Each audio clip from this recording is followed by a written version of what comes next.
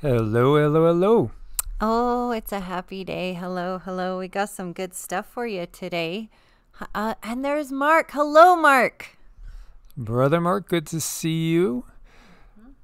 And we got third in line, actually second in line. All right. Good job. Good job. And Annie Luhu and Paul Zeke and nice. And Paige Denise. Hello. She got that right. I did. I did. I did it right. Good, good. Grover Hunter, good to see you. My favorite uncle's name is Grover. Science Nerd, good to see you as well. Tiffany Wood. Osboy, good morning. Over there in Australia. Oh, yeah. Hello, Miss Tiffany. It's good to see you all here. This is wonderful. Hello, hello. Yeah, we got Arizona Raven in the house. Uh, Scott's in the house. Jedi Master in the house as well. Much blessings. Yes, much blessings. Great to see you guys. There's Karen Lynn, and I can't read that. Listen Vision, I think. Listen for vision. Ah, nice. Boy, I gotta check your eyes. I know, right? If I could read it and you can't, Yeah, that's bad. it is bad. Renee Perry, Christine MacArthur, hello over there in NZ. Yay! I'm so glad you could make it, Miss Christine. I hope everything's well at the office. Neil from Jersey in the UK. UFO to know. Yo, that's cute. It's good to see everybody. So, yeah, there's there's so much that's been, I think, missed by the public because of everything that's going on. Obviously, with the CV crisis, with the protests, with the chaos that we see going on, earth changes. That you know we miss a lot that actually is significant. Yeah, you know, we have some special astrological alignments coming up, which I can't remember off the top of my head, but I know that they're very important. And we want to have ourselves in a good place when these alignments pass through. Um, a lot of these uh, vibrations that come through us, they make changes to our bodies, and it's really important we're in like a receptive, happy state. Most definitely. So uh, we see Shotgun Sus saying LMAO, Harry Reid, Earth is flat, don't trust him. Yeah, you shouldn't trust politicians. How could you trust politicians? But, you know, don't base your assumption on the Earth being flat on, you know, Constantine either, because he was a politician. Right. He was a politician that executed his wife and son Yeah. in order to keep his power. Do you trust him? Right. Do you really trust anything that he put together? Mm-hmm. So you gotta look deeper, of course. Crystal Core Art, good to see you. Paul Zink, Rose War. Hi, Queen Star. Hello, you guys. Good to see you. Yeah, that's why you don't trust anything, and you you go and look at all the evidence from all over, and as Buddha said, judge it with both your mind and also your heart, and then make your decision. Yeah. So yeah, so we got a lot to talk about here, um, a real lot to talk about, and we're looking at Harry Reid. Is he going to be beamed up? Uh, is he? Is he gonna get his own personal rapture going? I don't know, man. Anybody in the Senate, especially a long-term senator, Yeah. but you know, this is one of those things that people probably missed, and it's not just Harry Reid. I mean, we could go on down the line of people that have come out of politics and admitted. And you don't have to just look at politicians. Look in history. Look at all the wood cuttings we've seen of UFOs. Um, I'm going to start at the back. Let's see. Yeah. Let's see. Where was I? Yeah. I mean, we're like, look at all the Vedic, the Indian texts talking about the Vimanas, the aircraft in the sky. You have all sorts of um, Christian artwork showing, like, there's the Annunciation with Ar- Archangel Gabriel. I've talked about this and shown this a million times. Shows a UFO beaming down a uh, beam of light right into the crown chakra of the Virgin Mary. So, yeah, you know, it, it's a laugh if you don't put these things together. You know, all the talk of the wars of the gods flying around in the sky. And it's not just, you know, from one tradition, it's all traditions around the globe. So let's go down to Peru and just talk about the Inca uh, the Nazca lines that are down there that can only be viewed from above. We have detailed descriptions of flying ships, not just uh, from the Vedic tradition, not just from India, but also Mesoamerica as well. So, you know, if you put all the evidence together, you don't got to be a brain surgeon. Um, however, if you can't see it, it's probably because you're just so deeply indoctrinated in one set of beliefs that you don't want your worldview rocked. So you want to and need to hold on to a certain worldview. And as we've said before, like I remember, I think it was third grade or fourth grade. And, you know, my curiosity got the better of me. And we had an old house that we were living in that had like closets inside of closets. So, you know, I had to go poking around and I went poking around a couple days before Christmas and I found my presents from Santa. Oh I know I was a bad boy, you know, but I wanted to still keep believing that there was a Santa. So bad. So I acted surprised, and the next couple years I acted surprised again, even though I knew my parents were Santa. I just didn't want to blow it for them either. Right, right. Is that a good kid or what? That's a pretty good kid. That's wonderful. Um, but it's true though. I mean, we all have so much of our time, energy, um, finances wrapped up in our our belief system and indoctrination and our education that when it, it's super blatant in your face, no matter how black and white it may be, people have this sad ability to just make a blank screen and pretend that the evidence doesn't exist.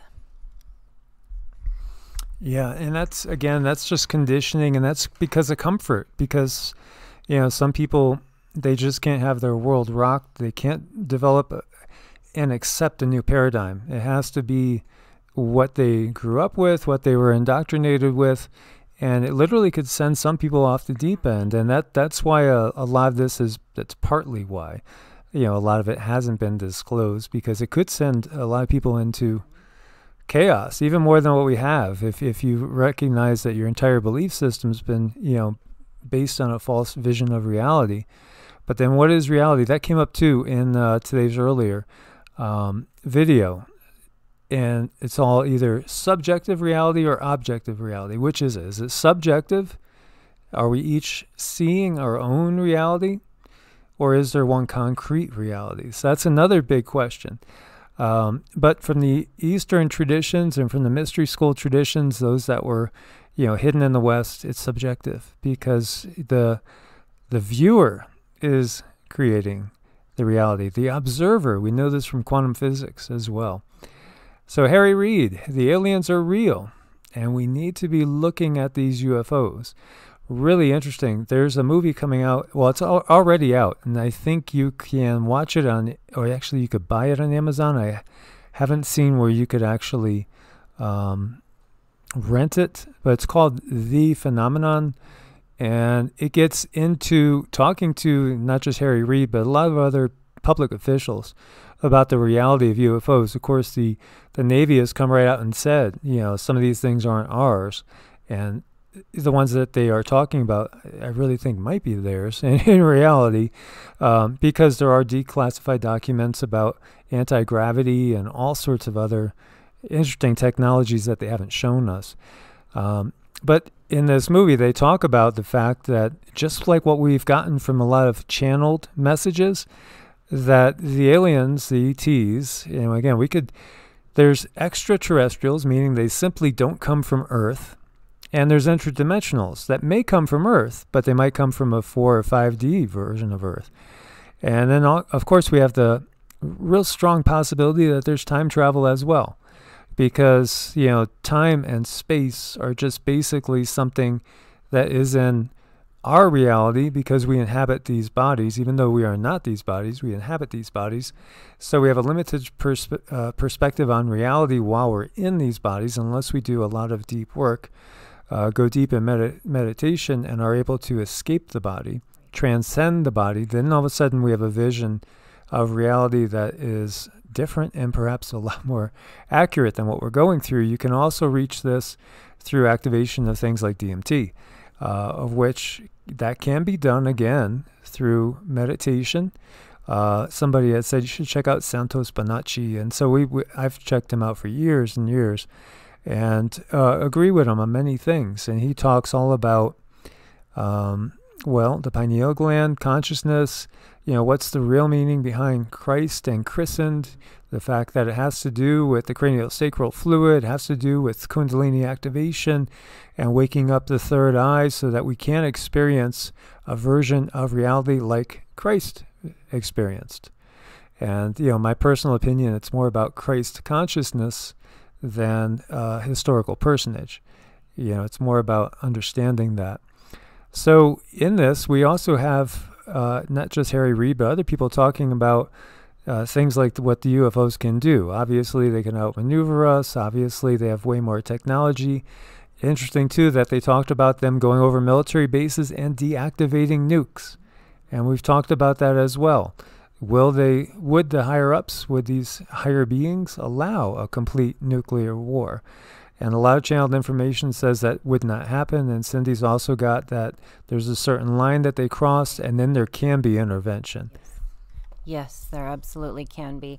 What they don't want to do is they don't want to screw with our free will.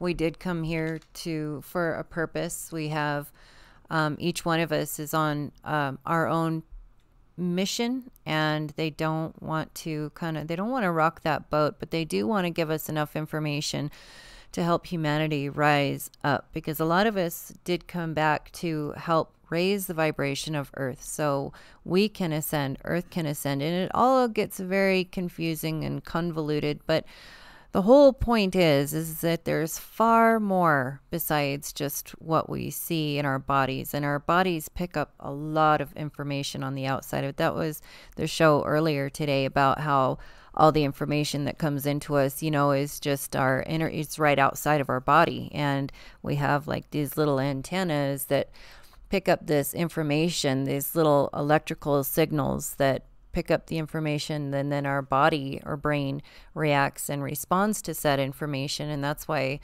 traumas you know can remain out in the energy field. And and you know it's just really good to have a good working energy field and aura and have a lot of these traumas smoothed out or you could receive the information incorrectly Exactly. So, you know, it's interesting. Like, you know, and again, I'm not a big Harry Reid fan. I'm not really a fan of any of the politicians because when you get to the top, in my opinion, you've kind of sold out as um, one of our good family members there, uh, Kim, Kim Rizzo was talking about um, just the, the wholesale destruction of the planet. Well, you know, it's because the system. The system's not planet friendly. It, it's really a system if you look at it, it's almost as if those that are running this planet are not from here. Just look at it because they are destroying it. They just look at it like it's a resource. And, you know, if it gets used up and destroyed, eh, then we'll just go on, we'll find another resource. So when you look at it from that point of view, it makes sense as well. Um, and, you know, Harry Reid did say that if you think we're the only species in the universe, that's kind of short sighted. That's hugely short sighted, but that's obvious too, as you know, there's just so many different planets out there, different, you know, star systems as well. And then we still get people saying space isn't real, the Earth is flat. Well, the Earth is flat in a sense. Uh, and again, you could look at it going into science. Uh, because now there's so many scientists out there that say, yeah, we're looking at a holographic version of reality, uh, which is a projection from a second density um, like a 2D projection. Two, the 2D is more like the uh, the reality as opposed to what we're looking at here. It's a holographic universe, in other words, which is projected from a different reality. So in that sense, you could say, well, maybe it is flat in that sense, but in this holograph, it's round or oval, you know. Um, and so are uh, everything else that we see out there, the suns and the other planets. Again, that's just wanting to make a particular reality um, stay safe and comfortable for a, a, certain person that is of a particular mindset because of conditioning and, and really religious conditioning and, and indoctrination. And as you see here, the people deserve to be informed about UFOs. All these things are coming out now, not because they want it to come out, because they have no choice. Right. They're being forced because we are in different times now and we are rising up. So we are rising up in frequency. So, yeah, I was thinking about making a whole video on this the fact that, like with the Australian Aboriginal people, they say we are returning to dream time. So, what's dream time? Well, we could view it as kind of 4G, 4D sort of. It's one notch up from where we are when we're totally awake and conscious in these bodies, more like a dream state. Well, if we learn how to lucid dream, then we could even more control our reality. So right now, that's the key for us is to recognize uh, the well self self realization, just like we were talking about in the earlier video. Really realize where the self is. The self is well, it's using a body. It's not limited to the body. You know, we are the consciousness. We we have a vehicle, and and that's the reality. And we are going up in consciousness so we're getting closer to the realms where the more benevolent beings are, and we're going to be able to have more interactions. Like all these fairy tales about gnomes and sprites and elves and magical beings and things that people apparently really believe they saw in ages past. In ages where we weren't in the Kali Yuga, and perhaps in ages where we didn't have fluoridated water, we didn't have a closed mind, and we were just able to perceive things better. Mm-hmm. We were, and we were taught from a very small age that there is a spirit world, and we're extremely connected to it. And we were even taught how to connect to the spirit world through the ether, through certain little alchemies or rituals, and yeah, taught that from a very, very young age. And and now, from a very, very young age, like almost when we're walking we're we're sent to school and we're we're just taught about things on the outside of us. So you know, I, I do believe that they're doing the right thing by doing this slow drip um, slow drip information about what's really out there because I think it would really harm a lot of souls if they were to find out the reality of things too quickly. That can be highly traumatizing. And then we have the masses that are not only are already having a hard time, but then are highly traumatized. I think that would be just too much of a jolt on the earth herself because she's a being too. She feels what we feel, we feel what she feels. So I think they're doing this slow drip thing appropriately. That's me. So I think it's also interesting that, as I've said so many times, they want us to take a, a hard stance and a side and you know be on one side of the fence or the other. And as we've said before, it's not always the case. You know, really, uh, there's it's not either or, but it's all of the above so often. And when we look at like Genesis six, which is so famous. And so, you know, we'll look at start at Genesis 6 3.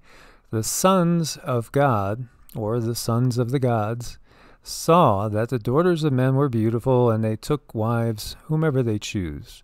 And so the Lord said, My spirit will not contend with man forever, for he is mortal. His days shall be 120 years. So if you look at it just from that point of view, you got a certain, you know, um, perspective. But then if you study the Sumerian tells and, you know, you read that they viewed reality as mankind was created to be serv- servants for the gods. And when we read all of them, and we discover that at one time, you know, Anu was offering to bring us to actually be up at the level of the gods, and Enki, who had saved man from the Enlil induced flood, yet he didn't allow man to get outside of his control grid because he tricked man into not accepting, um, it really makes you wonder, and it and it gives different perspective on this. And and again, remember, uh, you know, the Bible is is it's Reader's Digest. If you guys remember Reader's Digest, it's a condensed thing. Uh, there's far more scriptures that weren't included than were included. And again, it was put together starting uh, with Constantine, who was the Roman Empire. You know, he was the emperor of Rome, and in his time period, and he was um, he well he formed the Council of Nicaea in 325 A.D. The barbarians were at the gates, you know. So Rome was kind of falling. Uh, we are falling pretty fast now too, as we can see, and so he had to do something to keep it together. And meanwhile, Christianity was spreading like wildfire, and there were so many different Christian sects. Some believe Jesus was God. Others believe Jesus was, well, the Son of God, a little bit below God. Others believe Jesus was just a prophet, as uh, the Jews and the Muslims do. And it is curious that there's a legend in uh, India of Saint Issa that came in that time frame to India and learned under different yogis. And then when we look at Islam, they their name for Jesus is Issa, Issa too. So that's kind of curious. Uh, then we look at the second chromosome and we say, okay, so is this what that's talking about? My spirit will not contend with man forever, for he is mortal, his days shall be 120 years. So is that little genetic splicing going on there? And no more do we have people like Methuselah and such living 969 years. Interestingly enough, there's legends all around the globe of people living a thousand years. And when we look to the Vedic tradition, when we are in uh, like the Dwapara Yuga, for instance, really any but the Kali, we live much, much longer lives, much longer lives. Totally different. So when you start looking at it like that, then then you see that there's a bigger picture here. The Nephilim were on earth in those days. And of course, people view those as being fallen angels. And again, angels, the Greek original word means messenger. Simply that, messenger. Doesn't mean that there aren't angelic beings which are part of the Devic realm. Everything from, uh, you know, earth elementals all the way up to the devas themselves, which are like angelic beings, what we envision angelic beings. So it doesn't mean that there's not angels. Yes, there's angels, and there's also those that are the messengers of the gods, who we could also just view as extraterrestrial beings, perhaps some interdimensional extraterrestrials. And then we have other type of beings which are really purely interdimensional to us and cannot really take a solid physical form or sometimes can manifest one briefly. And, you know, I've seen that in person as uh, December of 2017, I awoke after I felt a strange feeling in my abdomen, like something energetic went into it, and saw about an eight to nine foot tall gray alien hovering over me, who immediately looked away from me, and it was like he went into a meditative state. And slowly his body started to, well, it looked like Beam Me Up Scotty. You know how that energy pattern starts to develop and then he's gone? But it took him like 90 seconds and he I could feel his anxiousness because I was able to see him and he didn't expect me to be able to see him and be able to keep seeing him as he was trying to get his ass out of there. So very curious. And we've seen that being it's still he's still assigned to watch us. And that is actually the same being that often comes in and screws with the microphone and plays with the computers. Um, so y- there are there is the reality of interdimensional beings. Now, would I call him a, a demon? No, I, I think he's a tall gray alien. You know, I mean, is he demonic? Well, what is demonic? It, yeah, he's taking orders. Well, what what is demonic? Something negative to humans? Well, yeah, he's not being positive to me, that's for sure. Um, but then I've seen also dark entities that look like black holes with glowing red eyes. Those I would say are more demonic. Shadow people, pure black shadow people as well, with this dark, dark vibe. Okay, that to me is more of a demon. Um, but this is all interesting because as far as the Nephilim and the giants, there was many of them. You know, there was the Anakim and there was the Rephaim you know, there's so many different types of, of giants that were out there. They weren't all the red-headed cannibalistic ones, and that word we got to be careful with. Um, although those were part of them, those were definitely part. So the Nephilim were on earth in those days and afterward as well, when the sons of God, or the sons of the gods, had relations with the daughters of men, and they bore them children, who became mighty men of old, men of renown. So that doesn't actually sound bad. Eh, you know, it sounds more like we're talking about beings like Hercules, some that we would call perhaps demigods. You know, so there's a different beings that we're talking about here. And then it goes into why the flood came. Because the Lord, or maybe we should put Enlil, saw that the wickedness of man was great upon the earth. Well, maybe we should say saw that man had the potential to realize the situation and that his inclinations of thoughts in his heart were altogether evil all the time. Do you think so? I don't think humans are like that altogether all the time. I think that's putting down a race and given a reason to go ahead and commit genocide and try to wipe out an entire people. So, really, what they're saying is hmm, man has the capacity to wake up and realize he's like us and that we're using them as a slave race. They're getting too smart, their technology's getting too high. It's time to call the population. That's really what it's saying here. You know, and so Enlil regretted that he made man on earth, and was grieved in his heart because man was a pain in the ass to Enlil. And so one of those mighty men of renown is Gilgamesh. Gilgamesh here, you see, that's not a putty tat, that's a lion. Mm-hmm.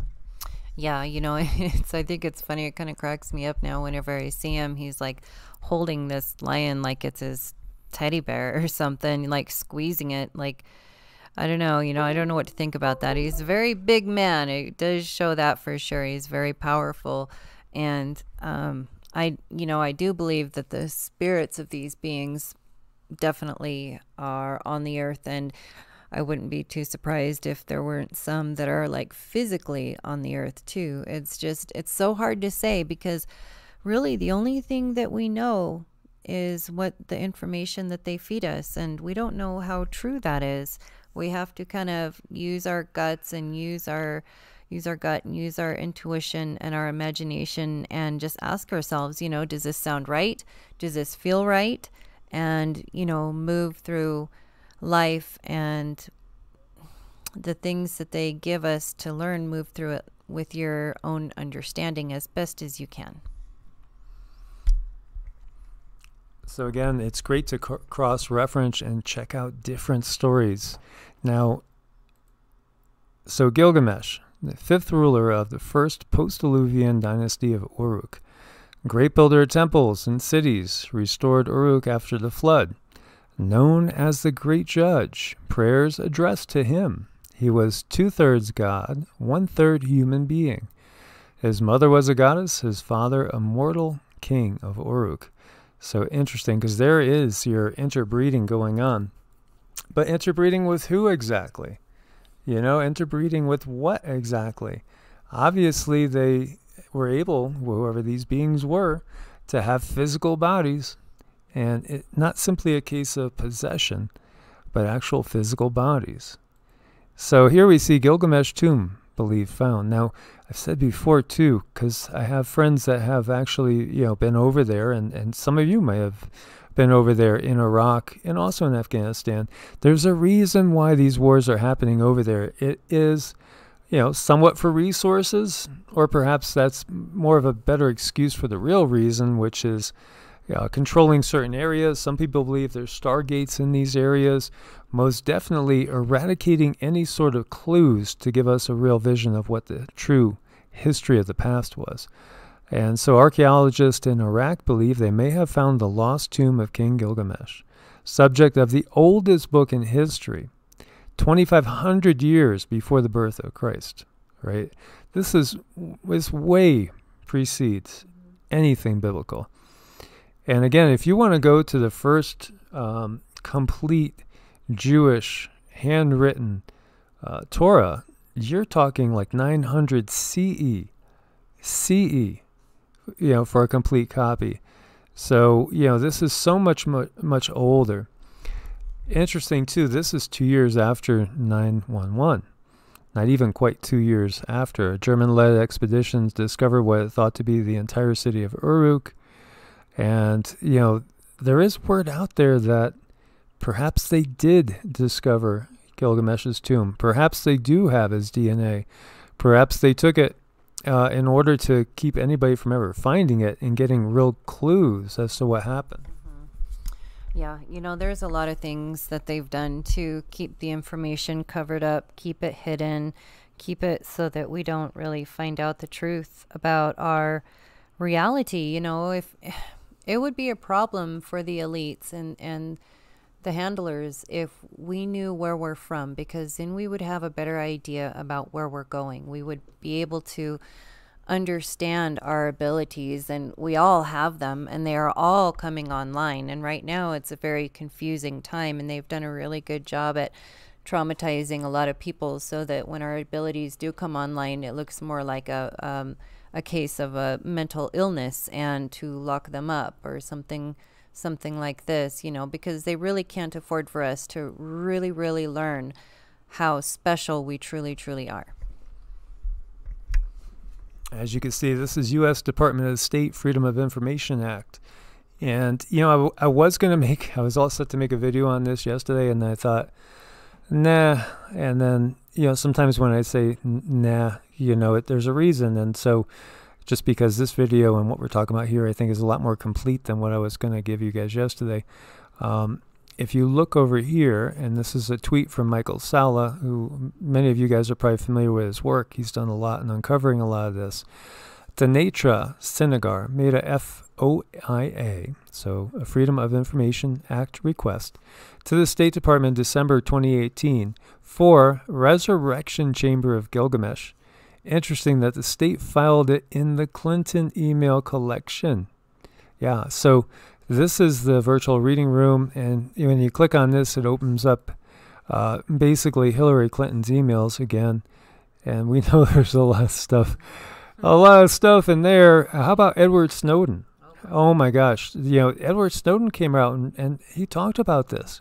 Why do people not listen to that? You know, because obviously, look at the whole Snowden case. I mean, just like, um, oh, I'm going to forget the. Uh, a gentleman from the UK that's been locked up forever now. Um, oh, oh, oh. He's been under. I can't believe I can't forgot his name too. Somebody knows. Oh, you guys, you guys white know. beard, the guy with the white hair, white beard. Yeah, you, know, know this is what happens to people that leak real information on a high, high level. Um, so yeah, it, there was a Hillary Clinton email talking about this. You know, again, the Resurrection Chamber of Gilgamesh. You know, the elite know at that level. The Clintons know. The Bushes know. Obama knows. Uh, I, I, do think Trump knows too. Assange. Assange. Assange. Yeah, Julian Assange. Yes, yes, yes. Thank you, Mushishi. Thank you, Mushishi. So yeah, I mean these guys, these people get really hammered, hammered. You know, I, I feel really bad for Assange, and and for Snowden too, because what was Snowden doing? He was trying to protect the people he really was just trying to let us know what's going on. Well, one of them, you know, he talked about this. He said he talked about the reality of ETs and interdimensionals. You guys out there, some of you might be fans of the old Art Bell Coast to Coast. You remember when that guy called in from Area 51 all panicked and he's saying, What you think are extraterrestrials? They're really interdimensional beings. Interdimensional. Um, there's both. There's both out there. There is definitely both, you know, and we pick up a lot of signals that we might not understand or might not know how to read, but I do believe that they do kind of watch us in many ways, in many different forms. You know, it is really important to the elites to keep humans kind of under control. And it seems like if you get too boisterous about the truth or if you touch on the truth a little too close, something is going to happen to you. It's it's like these little punishments that they like to like to kind of shell out to people if, you know, they're just too close to the truth. It's not very nice what they do. Yeah, it's pretty wild. And uh, I saw a comment out there that Thor was a redhead as well. Yeah, you know, and these are the type of things that yeah, it just get me uh, enthralled and looking into it. Like the Aesir, their battles against the Vanir the uh, Asuras and the Devas fighting. Uh, it's it's just pretty wild stuff. As I was sharing with you guys before, I was reading about Hanuman, and was still doing more reading last night too. Um, and it's interesting because again, a lot of things are there just to give us parables, allegories, easier ways of understanding things. So why is Hanuman an ape man and yet a demigod, right? Because he is a demigod. Um, it's it's I think that it's showing us that what we could even perceive as being lower than lowest human potential, thinking that apes are lower than humans in their you know cognitive abilities and perhaps other abilities as well, but that we could jump all the way up to demigod, you know, status in one lifetime. Mm-hmm. It all it's all about self-realization, understanding, going within. You know, that is the key. And there's reasons why they don't want us going within. Look look at the typical life in the Western world. It's hectic. You know, you're just paying bills. We have dear friends that are going through such hard financial times that just don't know what to do. And so, you know, they, they, they work their butts off and they're just trying to make it, you know, make ends meet. But we get ourselves caught up with uh, keeping up with the, with the Joneses and everything like that. And, you know, in normal times before this whole lockdown scenario, so many people were just, you know, all about just work, work, work. And now, you know, a lot of people don't have work. So the blessing is they have the time maybe to go within. If we could shut out the world a little bit and the noise of the world, um, which does take a lot of work and effort. But that's the key is going within. And it's it's fascinating to see what we really could be. So the myth of Gilgamesh, hero king of Mesopotamia, and you see, so he's Gilgamesh of Uruk, and his epithet is He who saw the deep. That's interesting. He who saw the deep. Now, do you think that might have any reference to going within? You know, and again, you know, who are these beings? You know, uh, these demigods. Who are they really? Yeah, you know, and they don't teach us here in the Western world. They they don't teach us about any of these beings. In fact, they tell us to be afraid of these beings and don't study them. But I do believe a lot of people have um, DNA memory, which would, if they were to read some of these books and some of these stories, might actually activate some memory. Because when you do look at something like that and you get curious about it and you're really interested and really enthralled, that could be your DNA just knocking at you saying, Hey, this is familiar. This is familiar. Look at me. Look at me. Look at me a little bit closer. And you might come upon some self realizations, which are, which are, just golden if you can get them when you get them. They're wonderful and you know this one goes into describe them a little bit. And the most common form of the story and right there you see there's more than one form of the story. And it's the same thing what i was reading last night you know going into some of the different vedic stories. There's more than one version out there. So and it's the same thing in in when you go into the bible too. As we talked about you know the oldest book oldest copy that we have of the book of john has over 3000 edits. The gospel of john 3000 edits and, you know, so there again, you know, we're, we're getting versions. But, you know, use, take what you will, and then again, meditate on it and see what comes to you. So, in the most common form, he's a prince, and he's the son of a king and of a goddess. Interesting as well. Now, there was a video we did uh, talking about the reality of interdimensional beings. So you wonder, okay, is this a goddess in the sense that she comes from somewhere out in the Pleiades? And really she's a 3D or a, a Pleiadian being that's able to be fully physical? Or is she a goddess in a different sense? Is she just a higher dimensional being and maybe his vibrations were high enough that they could kind of interact and connect? You know, there's there's legends of humans being taken into the fairy realm, into you know maybe a higher density, sometimes they don't come back for generations and everybody's dead or or or you know they come back they they might have left when they were 20 they come back they're still 20 everybody around them that was 20 is now 80 there's like that time thing and then we see missing time in the UFO phenomenon too as well which is really really interesting. So is she really when you get down to she's a goddess? You know, it, it's it's fascinating. We know about royal blood and how they want to inbreed all the time to keep the purity.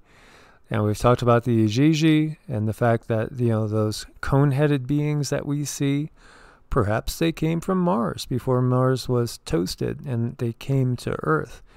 And, you know, perhaps that has something to do with the Atlantean connection and the Illuminati connection as well. So he was a wild youth at the onset during the epic tale of Gilgamesh, pursues a heroic quest for fame and immortality, and becomes a man with an enormous capacity for friendship, endurance, and adventure. Along the way, he also experiences great joy and sorrow, as well as strength and weakness. I find it fascinating, too, that when we look at the mythologies, doesn't matter what tradition you're in, all the gods and goddesses have human emotions, mm-hmm. human emotions, human flaws strong emotions too. And, you know, I think as much as when they write about themselves and their purity and how perfect they are, I think they're more human than human, really. I think there's more flaws than we realize. And of course, we do need people to look up to, we do need um, people to admire and people to kind of walk in their footsteps. But I I really believe that there was a lot of emotion, a lot of trauma, a lot of falses, a lot of things wrong with them that didn't really get written down. So Gilgamesh goes off, even though he's two thirds God, one third human, he goes off in search of immortality. And then eventually he gives up on this quest and returns to Uruk. When he finally dies, he becomes the god of the underworld, a perfect king and judge of all the dead, who sees and knows all. And that looks like one of those man purses those guys are always carrying, does it not? Yep. And what are the snakes? Is that like DNA? What is that? Uh, yeah, look, there's two snakes, mm-hmm. and he's battling with them, holding them by the neck. Yeah. So is it is it all really uh, you know relative to the DNA as well? It's all just very interesting to see. But again, life goes on mm-hmm. because even though he dies, he he left that physical body, then he becomes the god of the underworld yeah so you know there's just a lot of things that we just don't know and it's really nice once you are able to break open your belief system and understand that it's okay to look outside the bible it's okay to look into other things look into tarot look into astrology. Oh thank you miss susan donahue. Dear michael and cindy with many thanks and much love if i were a betting woman my money would be on Heart of Humanity. Thank you so much, Susan Donahue. We so appreciate you. We really, really do. I just want to send out a huge, big hug to Susan Donahue. We really appreciate your support, your love, all of your positive positivity, and it's just undying and everlasting. And I just really want to say thank you. So outside the four walls with Yahuwah says the giants were not human. Well, you know, you, you have to have certain DNA characteristics to interbreed. Yeah. You have to be part of the same, you know, the bigger species. Neanderthals and Homo sapiens did breed together. Same thing with Denisovans. And uh, also says that I guess I'm twisting scripture. Well, I think it's untwisting the twisted version right. that exactly. that has been given to the mainstream to keep you in a lockdown frame of mind where you're afraid to actually go and look and compare stories from around the world and try to get a bigger picture. No, everything else, anything else that I don't believe in must be of Satan. You know, that th- that is really twisted and that's really closed-minded. But look at why it was done because it keeps us divided. And so what do we have going on? We've had religious wars going on all over the place.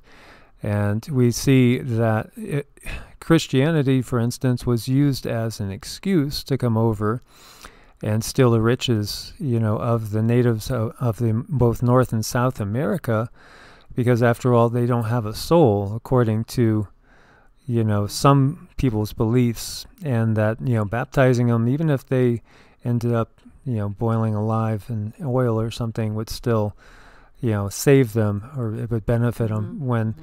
we could go and we could look at um, and thank you so much robert johnson we appreciate your support we could go and look at the story of jericho and you know going ahead and blowing down the the walls and killing every single man woman and child but put the gold and the silver in the storehouse of god mm-hmm. you know so again justification and then there are those that believe that every inhabitant of canaan uh, were of these Nephilim, and so that was the justification for killing them all because they were all red-headed cannibal giants. And I don't think that's the case because we, we know of the Philistines, we know of uh, the Phoenicians, we know of so many different people that we actually have skeletal remains of that they're not giants. You know, there are people of normal stature that we know were living in those areas. There's remnants of, of dwellings, towns, and cities that are there as well. So, you know, that's not really the case. I think there's a lot of justification that is used from people that believe they have the one and only true religion, and everything else is just doctrine of demons. Mm-hmm, mm-hmm. But the reality is, you know, they've been, th- the, those religious fundamentalist ideals are what make people go off and do the crusades, do the Inquisition, burn witches at the stake, and persecute others of different beliefs. As Albert Pike had said, you know, there's going to be three world wars back in 1871 and he talked about the necessity of bringing Israel back into being after it, it was destroyed in 70 AD by the Romans, and it wasn't resurrected uh, until modern times, thanks to a Rothschild mm-hmm. and the Balfour Declaration. So there we see who's really bringing the Jews back to Israel. Is it God? Is it the prime creator, the creator of the entire universe? No. It's not the creator of the entire universe. It could be one of the gods, quote unquote, one of the Anunnaki, uh, or a group of Anunnaki, whatever we want to term them, or we could say greys and reptilians, or hybrids, uh, using the Illuminati or the Igigi, who are their spokespeople here on Earth, uh, i.e., the Rothschilds, the Rockefellers, um, you know, the Vatican, the Black Pope, the Gray Pope, all that, the Jesuits, etc., etc., uh, to bring about their will on earth. As Cindy's getting energetically attacked right now, so we're probably going to have to cut it short pretty soon. Um, but it's time to get rid of the divisive thinking and time to recognize that people have been played and pitted against each other to just basically do the will of those in power. So when we look at Greek mythology, here's a list of demigods from all sorts of different philosophies. There's tons of them. Achilles, you guys remember Achilles?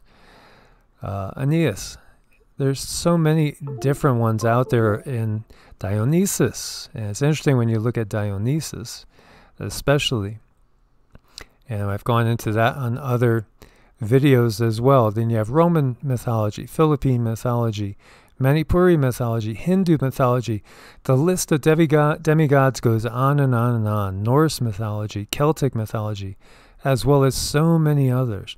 This is just, you know, it's it's a universal myth, so there must be some truth there.